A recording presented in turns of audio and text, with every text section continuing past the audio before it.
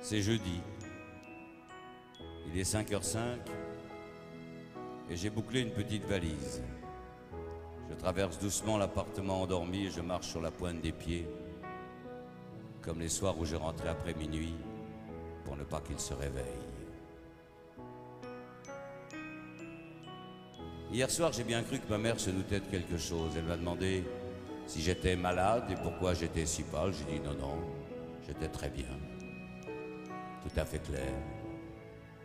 Je pense qu'elle a fait semblant de me croire et mon père, lui, a souri.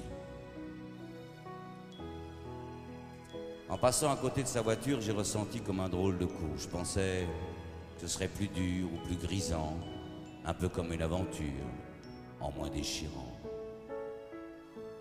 Oh, surtout ne pas se retourner, s'éloigner un peu plus.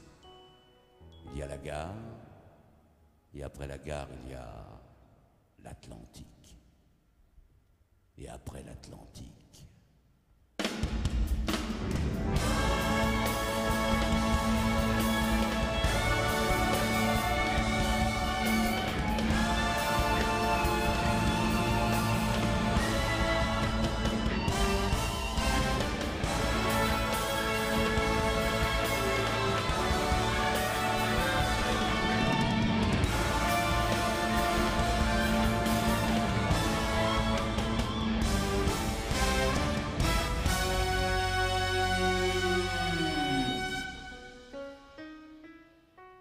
C'est bizarre cette espèce de cage qui me bloque la poitrine.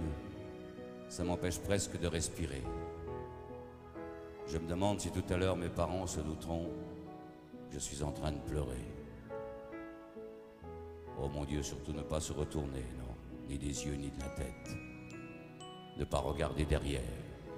Seulement voir ce que je me suis promis et pourquoi, et où, et comment. Il est 7h moins 5 et je me suis rendormi dans ce train qui s'éloigne un peu plus. Oh, surtout ne plus se retourner. Jamais. Mes chers parents, je pars. Je vous aime et je pars.